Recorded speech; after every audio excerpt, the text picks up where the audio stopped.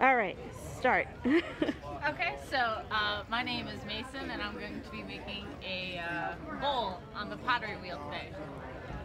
So the first thing to do, and this is actually the hardest part of pottery, is to get it centered so that all the clay is in the same spot, going in a circle around.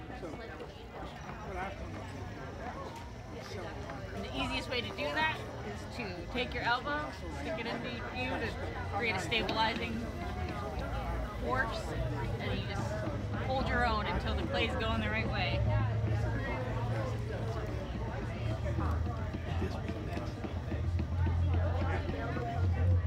And then you can kind of pull the clay up a little bit to make sure that it's wet all the way evenly through it.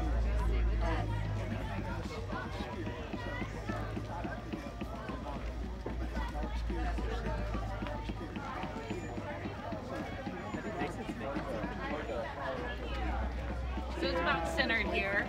So the first thing that I do is I take my uh, fist and I just kind of make a little divot in the middle. Just turning my, my wrist like that. And then I take my sponge and I just push right down to the center.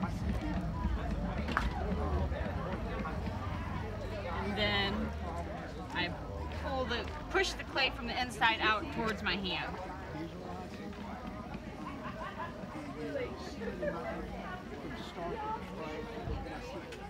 You see the clay naturally kind of wants to go out, so you kind of have to hold, collar it in as you're pulling, throwing it, whatever. And then I compress the bottom. And this is where I start pulling the clay up from the bottom.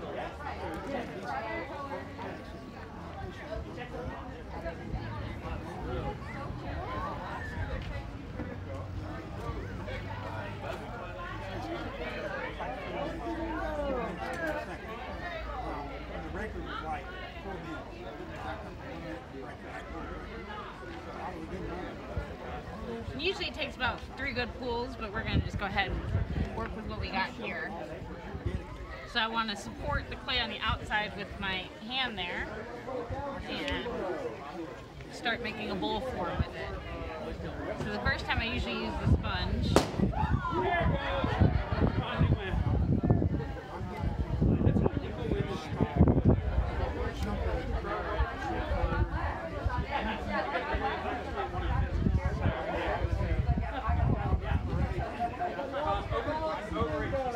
So the top is a little uneven, so I'm going to just trim off a little bit of it with my needle tool.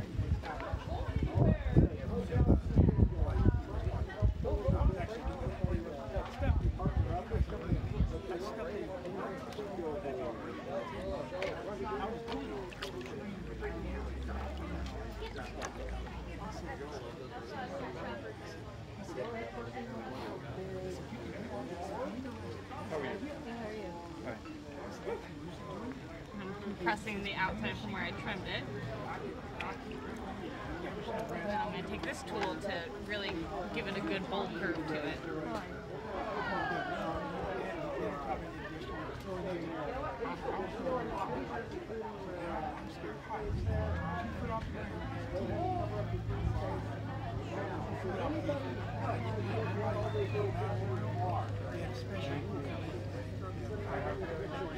You